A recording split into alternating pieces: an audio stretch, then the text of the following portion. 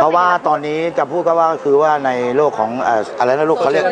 social network อะไรนี่นะครับ เขาไปลงนะฮะ ซึ่งอันนี้อย่าอย่าพูดว่าผมแก้ตัวนะ แต่ว่าบางครั้งมันก็ต้องพูดบ้างนะครับ เพราะว่าอะแต่ว่าผมก่อนอื่นผมต้องขอขอบคุณแหละนะฮะที่เขาเรียกว่าอะไรนะลูกช่วยเหลือ Facebook ช่วยเหลือไลน์มาบางคนก็ให้กำลังใจแต่บางทีนะฮะเขาไม่รู้ตื้นลึก แต่บางคนที่ไม่รู้ตื้นลึกหนาบางภายในครอบครัวนี้นะครับ ก็ไลน์มาด่าว่าบ้างอะไรบ้างอันนี้ไม่เป็นไรครับ ผมก็ไม่โกรธครับ เพราะทุกคนมีสิทธิ์ที่จะวิจารณ์ เพราะว่าเราเป็นคนของสังคมนะครับโอเคครับ แต่ตอนนี้เอาไอ้เรื่องเก่าๆที่เคยมีเรื่องผ่านมาแล้วไม่ไม่ต้องเล่าดีกว่านะ เอาเรื่องปัจจุบันนี้เลยค่ะที่สาเหตุว่าทำไมมันคลุกกลุ่นเกิดขึ้นมาอีกค่ะนะครับ ก็คือว่าเอ่อหลังจากที่ผมไปรับแม่มาแล้วนะฮะกลับมาอยู่บ้าน คุณแม่มาอยู่ได้ประมาณเดือนกว่าๆคุณแม่ก็รับไม่ได้ คุณแม่อยู่ไม่ได้ อยู่ไม่ได้ สาเหตุอะไรครับที่อยู่ไม่ได้หนึ่ง เหงาสองแกไม่มีความผูกพันกับในครอบครัวผม เพราะเขาไม่เคยเลี้ยงลูกผม เขาไม่เคยเอ่อดูแลกันและใกล้ชิดกันนะพูดง่ายๆนะครับ ก็เหงาเหงาก็บอกเบื่อพอเบื่อปั๊บแกก็หนีไป หนีไปก็ไปตามตามก็สรุปแล้วก็คือว่ากลับไปที่เก่าครับก็คือที่วัดพญาสุเรนก็เลยเมื่อกลับไปที่วัดพญาสุเรนก็ไปตามให้กลับบ้าน แกก็ไม่กลับ ในเมื่อไม่กลับปั๊บผมก็เลยต้องพึ่งหลวงพ่อโส ซึ่งเป็นเจ้าวาดวัดที่นั่นนะครับ ก็ไปก็ไปถามบอกว่าหลวงพ่อครับ เรื่องเหตุการณ์เป็นอย่างนี้ครับคุณแม่ผมอยู่ไม่ได้ แกเหงาแล้วก็แกไม่มีความผูกพันนะครับ บางทีผมไปทำงานกับภรรยา ลูกก็ไปทำงานแล้วลูกอีกคนก็ไปโรงเรียน ไม่มีใครอยู่บ้าน แกก็เปิดบ้านทิ้งไว้สามทุ่มสี่ทุ่มแกก็ยังไม่กลับเปิดบ้านทิ้งไว้อย่างนั้นแหละครับก็ก็ก็ไม่รู้จะทำยังไง ก็หลวงพ่อก็เลยบอกว่าเอาอย่างนี้ไหมโป้งเน่งในเมื่อเขาอยากมาอยู่ที่วัด เดี๋ยวหลวงพ่อจัดการดูแลให้เองนะครับ ฟังนะครับ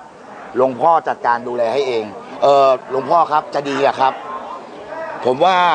พาเขาไปพักที่บ้านบักบางแคคนชราดีไหมอะไรลักษณะแบบนี้ ผมก็เลยโทรติดต่อไป แล้วบอกอีกอย่างนะครับ บ้านพักบางแคคนชราเนี่ยอยู่ๆไม่ใช่ว่าจะไปเข้า แล้วนึกจะเข้าก็เข้า นึกจะออกก็ออกไม่ใช่นะครับ ต้องติดต่อกันเป็นเดือนนะครับ เพราะว่ามีอีกหลายราย 30ราย40รายที่รอที่จะเข้าไปอยู่ที่นั่นนะครับ ผมก็ติดต่อได้แล้วก็ได้ความรับความกรุณาและเมตตานะครับ จากบ้านบางแคสองเขาบอกว่าเขาจะรัดคิวให้อ่าดีใจมากเลยครับ มาหาแม่เอารถตู้จากที่บางแคมารับอย่างดีเลยครับ สรุปไม่ไปนะครับ เขาไม่ไปอ้าวในเมื่อไม่ไปแม่จะทำไงขออยู่ที่วัดหลวงพ่อก็บอกว่าเอาอย่างนี้ก็แล้วกันป้องเหน่งเองไปทำงานเองเองไม่ต้องห่วงนะหลวงพ่อจะดูแลเองนะครับ จากวันนั้นที่มีข่าวฮือฮากันมาแกก็อยู่วัดประมาณ หกเจ็ดเดือนเกือบปีแล้วนะครับ ปัญหาอะไรก็ไม่เคยเกิด ลูกผมไปผมไปบ้างล่าสุดนี่นะฮะวันแม่นะครับภรรยาผมเนี่ยนะครับ เป็นคนบังคับผมนะฮะเพราะว่าผมทำงานจนลืมไปว่า โอ้แม่อยู่ที่วัด ให้ไปกราบเท้าแม่นะฮะผมมีรูปผมมีหลักฐานผมถ่ายเอาไว้ เพราะว่าผมคิดว่าบางวันเดี๋ยวเรื่องแบบนี้จะต้องเกิดขึ้นกับผมอีกนะไปกราบเท้าแม่เอาน้ำล้างเท้ามาล้างหน้าล้างหัวนะครับ อันนี้อันนี้อันนี้ข้อหนึ่งแล้วนะครับที่ว่า ทิ้งทิ้งไม่ไปดูไม่ไปแลนะครับนะฮะอันนี้ข้อหนึ่งแล้ว แล้วก็ลูกชายก็ไปเป็นประจำทีนี้ผมจะบอกว่าเอ่อการที่เราไปเยี่ยมแม่เราเนี่ยเราต้องไปเป่าประกาศให้ชาวบ้านเขารู้ด้วยเหรอครับ ว่าเราไปเยี่ยมแม่ เราต้องเอานักข่าวไปแบบนี้นะครับ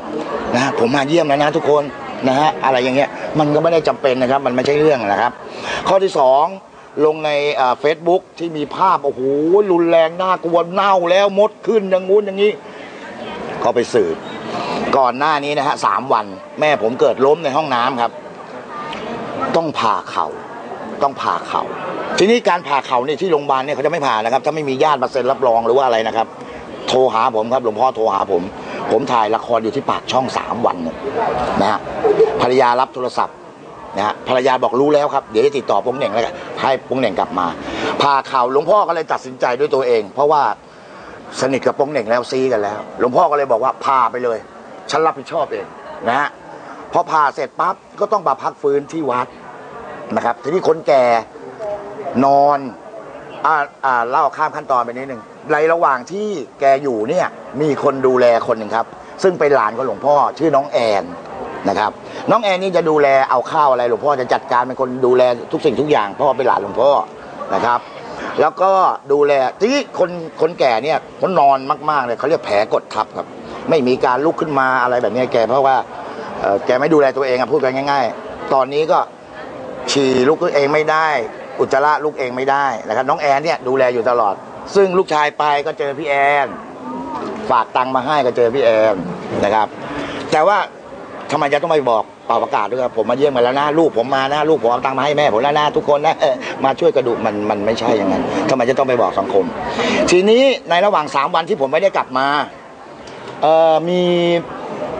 อนามัยฮะอยู่ข้างๆวัด ซึ่งหลวงพ่อบอกเอ้ยมาดูมันหน่อยดิทำแผลมันหน่อยอย่างงู้นอย่างนี้นะฮะผมก็ไม่เข้าใจนะฮะว่าเขาเขา เขาชอบผมหรือว่าเขาเกลียดผมหรือยังไงผมก็ไม่รู้ หรือว่าผมก็ไม่เคยไปเจอเขาตอนที่ผมไปหาแม่หรือยังไงเนะครับเขาก็โทรมาภรรยาผมเป็นคนรับเขาก็บอกว่าเออแม่คุณเนี่ยทำไมไม่มาดูเออแต่มีคนน้องแอนมาบอกว่ามีคนมาถ่ายรูปแม่ไป คนนะครับ คนแก่นะฮะผ่าตัดมาแผลแล้วครับมันสดนะฮะเป็นเบาหวานด้วยนะครับ แผลนะฮะถ้าล้างแผลทำแผลพันแผลมันไม่น่ากลัวน่าเกลียดขนาดนั้นหรอกครับ เอาแม่ผมเอาแหกแผลออก ถ่ายรูปแผลที่กำลังเฟะเฟะถ่ายรูปนะแล้วก็ลงไปใน Facebook มดโอ้โหทำไมมดขึ้นเยอะจะไม่ขึ้นได้ยังไงฮะคนโบราณโบราณอะไรที่ไหนหมอที่ไหนก็ไม่รู้นะเอาน้ำผึ้งมาทาเขาบอกว่าวัสลินเขาบอกว่าอะไรนะผสมกับวัสลินผสมกับวัสลินแผลเขาบอกว่าจะแผได้ลไม่จะได้ไม่แข็งไม่ได้นะน้ำผึ้งนะครับ มดมันก็มาดิครับ มดมันก็มาครับพอมดมันมามันขึ้นแผลมันเลยถ่ายรูปอีกครับ ถ่ายรูปเก็บไว้ แล้วก็ที่ลงไปที่ท่านได้เห็นกันนะครับ ตั้งแต่รักษาได้ไปเยี่ยมคุณแม่ไหมคะผมเพิ่งกลับมาเมื่อวานไปหาเมื่อวานนี่เองครับแต่ลูกชายไปก็เกิดเรื่องพอดีที่กลับมาปั๊บก็เกิดเรื่องพอดี ผมไปถึงวัดสองทุ่มแม่หลับแล้วอะไรแล้ว เจ้าวาดนั่งรออยู่ ผมก็เข้าไปคุยกับเจ้าวาดบอกว่าเฮ้ยตอนเนี้ยเอ่อที่สำคัญก็คือว่าแม่เองเนี่ยต้องการคนดูแล เพราะว่าฉี่เองไม่ได้อุจจาระเองไม่ได้ แต่ไอแอนคนที่หลานข้าที่ให้ข้าให้ให้ดูแลอยู่เนี่ยมันต้องดูแลได้เฉพาะกลางวัน เพราะเขามีครอบครัวเขามีลูกเขามีสามีนะครับ เราจะต้องหาคนมาดูแลณตอนนี้นะคะใครจะดูแล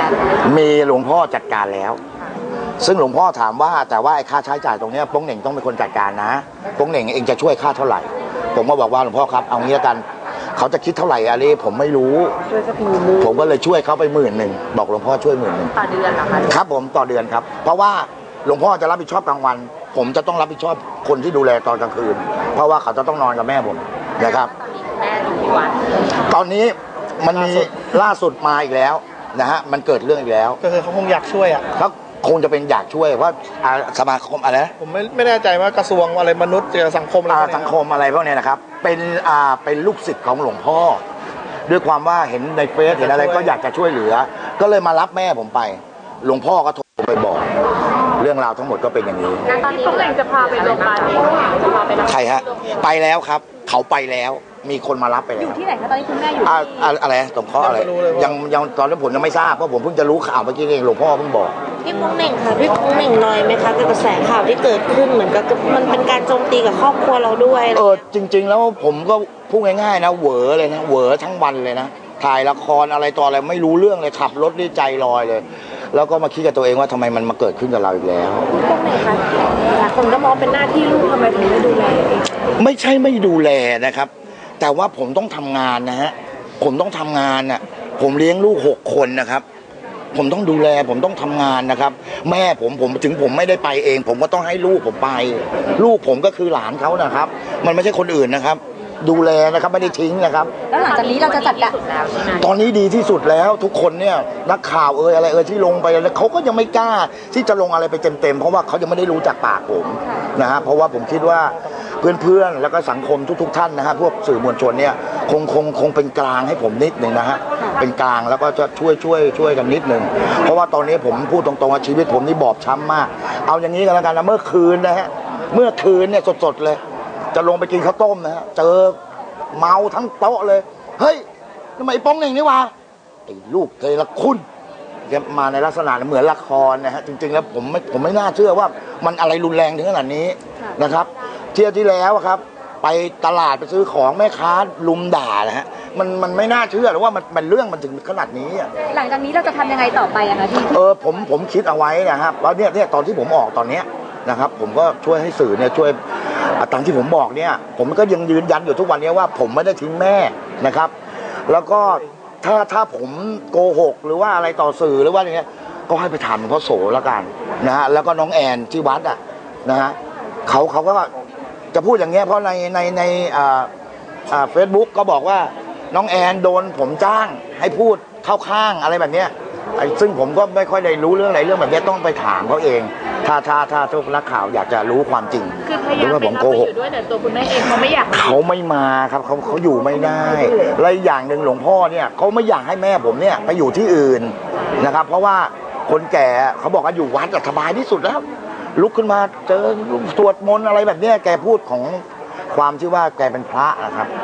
ทีนี้ก็หลวงพ่อก็ดูแลดีมากนะครับ ผมพูดตรงๆแล้วหลวงพ่อเป็นคนดีมากเลย แม่ผมอยากได้โทรศัพท์มือถือแกก็ซื้อให้อะครับ แม่ผมอยากจะดูทีวีแกก็ซื้อจอแบนให้ดูไว้ในห้องนั้นดูสบายมากเลยครับเขาโดนพูดถึงคนที่ประสงค์ร้ายกับเราก็ก็ก็ผมเออเขาหวังดีอะเขาคงไม่ประสบเขาเขาเขาไม่ไม่ไม่หวังร้ายอะไรหรอกครับ แต่ว่าที่เขาลงไปเนี่ยก็คือว่าเขาเขาก็มีพ่อมีแม่ยังไม่ทันรู้ตื้นลึกแต่ว่าเขาไม่รู้ตื้นลึกหนาบางอย่างเงี้ยนะครับ แล้วก็ผมก็ขอบขอบคุณนะครับ ถึงเขาจะลงว่าผมผมก็ขอบคุณนะครับ แล้วก็ขอโทษด้วยนะครับ ขอโทษทุกๆคนด้วยที่เข้าใจผมผิดนะครับ แล้วก็อีกอย่างหนึ่งโอ้โหผมสงสารภรรยาผมมากเลยนะครับ ละครเรื่องไหนเรื่องไหนแม้กระทั่งช่องสองช่องแปดของเราเนี่ยมันก็มีประจำนะครับ แม่ผัวกับลูกสะพ้ายอะฮะมันมันไม่ใช่ว่าเฉพาะคู่ผมนะครับคนอื่นลองไปถามดูเลยครับ ทั้งหมดเลยฮะคือสงสารเมียหาว่าเมียผมไล่ออกจากบ้านบ้างอะไรบ้างแบบเนี้ยแล้วทำไมหลงเมียลืมแม่ มันมันซึ่งความจริงมันมันไม่ใช่อะครับ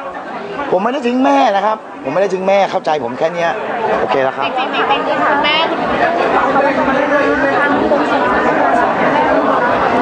เอ่อตอนนี้ผมยังไม่ไม่ทราบนะครับ เดี๋ยวหลวงพ่อจะโทรหาผม ผมเพิ่งรู้ข่าวเมื่อกี้นี่เองก่อนที่อัดรายการโทรแตกฟองแล้วก็มาเนี่ยครับครับแกเป็นหลายโรคมากเลยครับ ตอนนี้เป็นหลายโรคมากเลยยังเลยครับ รอรอคือว่า ถ้าเขาเป็นหลวงพ่อเขาอาสาว่าจัดการเองเองไปธุระก่อนให้เองไปทำงานก่อนนะครับ เพราะว่าหลวงพ่อท่านดีมาก แล้วคนที่พาไปเนี่ย รู้สึกว่าจะเป็นประหลัดด้วยอะไรเงี้ยครับเขาพาไปเขาดูแลอยู่เอ่อถ้าผมไปไม่ได้ผมก็ต้องให้เมียกับลูกไปอะครับ เพราะว่าผมทำงานนะผมพูดตรงๆครับ เพราะว่ารับงานเขาไปแล้วแล้วไม่ไปแล้วมันก็ แต่ว่าถ้าเขาโทรมาบอกว่าเฮ้ยคุณแม่คุณไม่ไหวแล้วจะอันนั้นผมจะต้องรีบไปนะครับ มาทางภรรยาที่พวกเหน่งเลยนะคะแบบมีปัญหากับคุณแม่จริงอย่างที่ข่าวลงไหมหรือยังไงบ้างไหมคะอะมีปัญหาไหมพี่ก็ไม่มีนะพี่ไม่ได้มีปัญหากับแก จบไปหน่อย ไม่มี ไม่ได้มีปัญหาอะไรเลย เห็นเห็นว่าเห็นได้ยินมาว่าเหมือนมีคนโทรมาบอกว่าคุณแม่ไม่สบายแล้วก็เป็นที่ที่บอกว่าอืม ว่าเหมือนจะเอาตังค์เท่าไหร่อะไรอย่างเงี้ยค่ะเรื่องเงินเป็นเรื่องใหญ่ คือคือพยาบาลเนี่ยโทรมาหาพี่ใช่ไหมก็ถามว่าเออเนี่ยไม่มีคนมาดูแลเลย บอกแต่ลูกชายก็ไปแล้วนะ เรียกเขาว่าพี่ไงพยาบาลคนเนี้ยพี่แต่ลูกชายก็ไปแล้วนะ เขาก็บอกว่า เหรอ แต่เนี่ยไม่มีคนมาดูแลแก แกลุกไม่ได้อะไรไม่ได้อย่างเงี้ยเนี่ยเขาเขาต้องใช้เงินคที่มาดูแลเนี่ย ต้องเอาเงิน